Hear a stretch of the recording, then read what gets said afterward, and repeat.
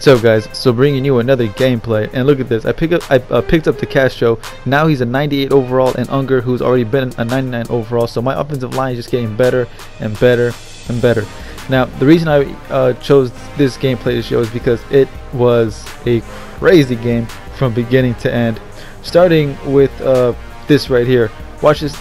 You would think this would be just like a normal kickoff, like it always is, because you know 99.9% of the time kickoffs don't really do anything but look at this. I fumble he picks it up runs it back rubs it in my face. I'm like this cannot I can't believe it. And look at that Jordan Howard.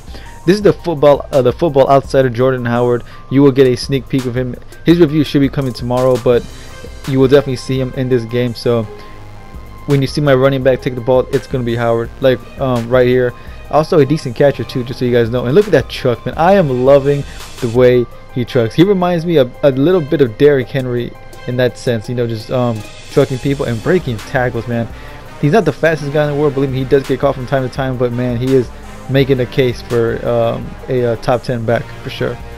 And as usual, I'm gonna let the game is playing in the background, but one thing that I do want to mention is I saw on Twitter somebody hit me up saying that apparently once again there is somebody out there trying to impersonate me and to uh, scam people for their cards. So this happened last year, except it was a guy on Twitch. This time it's a guy on Twitter. I guess I'm assuming. Who knows what he's doing? But all I know is that they sent me screenshots of the guy trying to uh, scam people. So just be careful, guys.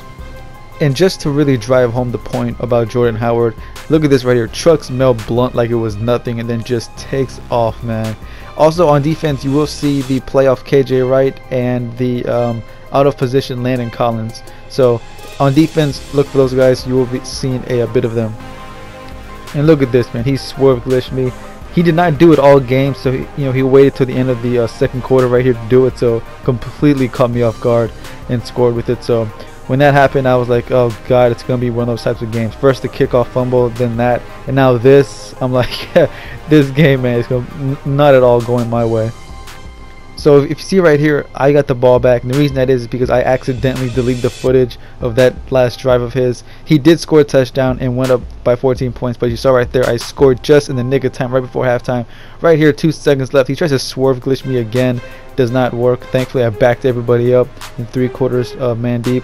He does get the ball back at half with a seven point lead. So it's like I'm facing a swerve glitcher. Um, he, he on defense, all he did, well, not all, I think like 95% of his defense, all he did was send that crazy edge heat from the nickel or whatever it was, their cover two blitz, which is very tough to stop. But anyways, in my previous video, I did mention that the gauntlet seems to be done for the rest of Madden season, but that does not mean that you cannot still get coins from farms. So decided to give you guys a few tips on that. Tip number one would be the ultimate season solos.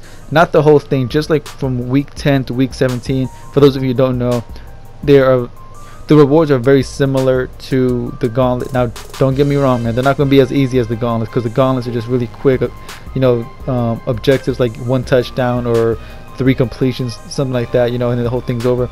This one, it will start you like in the beginning of the fourth quarter, so you so you got to finish the uh, rest of the game. But the rewards are decent. You know, I think the first tier is like a pro pack. Next one's all, um, all pro. Then. Uh, uh, Mud Gear, Flashback, and Legendary Game Changer. So the packs are there. So that's uh, tip number one. Tip number two would be the uh, journey, of course. And damn, look at that nasty ass stiff arm, man. That was a nasty stiff arm. But anyways, uh, yeah, tip number two would be the journey. Now, I definitely do not recommend doing the journey first because it is the longest one. But if you finish all the easy other, I mean, all, all the other easy solos like the Gauntlet and the Ultimate Season, and if you want to keep grinding I guess technically you could do it. The rewards are decent. You can't complain about the rewards but that that one's completely up to you. And look at this damn swerve glitch again. He keeps catching me off guard because he didn't do it back to back to back like most guys do it. He'll do it like once every seven or eight plays. That's why he kept catching me off guard. But anyways tip number three kind of ties into the ultimate season solo uh, challenges and that is doing the overall which i'm pretty sure some of you guys are you know have already done this as well. But you know if you get your team to, to like a 80 overall you get like a pro pack an 82 overall pro pack 84 overall I think you get like an all pro pack so on and so forth. Now I'm not saying that you need to get all the way to a legendary pack or anything but if you do the ultimate season solos you know you'll get those those elite cards and you can slowly build your way up there. And look at Jalen Ramsey jump the route man. Tied ball game and he gives me the ball at like the 37 yard line so great timing there by Ramsey But anyways, guys, like I said, in my opinion, if you have not done the gauntlet yet, do that one. And if you did that already, go ahead and do the ultimate season, like from week 10 uh, to a week 17. And they're not that tough, you know. And look at this play right. This is crazy. Look at me right there. Use your bar, right? Now look at this. I'm gonna accidentally press square by accident. I'm gonna fall on the ground, get back up, and be in the perfect, uh, right place, right time, and and pick the ball. So now I got to get a first down to try and ice the game. He stops me on first down, but right here, blitzes off the left side, leaves the whole left side exposed, and Dallas Clark wide open. And after that, man, he's got no timeouts. I take the knee. The game's over. Crazy comeback against this crazy swerve glitcher. Very satisfying win.